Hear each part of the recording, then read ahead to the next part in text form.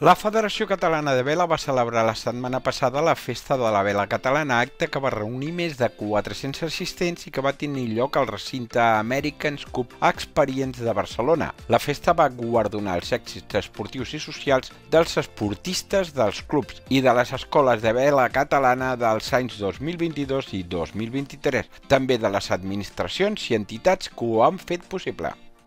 Sí, la veritat és que va ser una festa molt maca, estem molt satisfets d'haver anat, molt, molt contents. Eh, rebre el, pre, el Premi Vela Social per, per al programa d'Esports de, Blau doncs, eh, ens satisfà molt perquè nosaltres ja tenim aquest pensament de fer l'Escola Municipal de Vela perquè tots els nois puguin aprendre a fer vela. Els reconeixements han tingut un important protagonisme del món de la vela rossing, destacant la proclamació d'Aina Galpí, regatista del Gent de Roses. A més, es van lliurar distincions especials a personalitats que han destacat pel seu compromís amb la vela catalana, com el rossing Manel Pedreira, que va rebre una distinció especial pel seu impacte extraordinari i dedicació excepcional al món de la vela. Sí, sí, molt bé. I per en Nico, la veritat és que el Gent Roses és protagonista de la, de la, vela, de la festa de la vela catalana i estem molt orgullosos.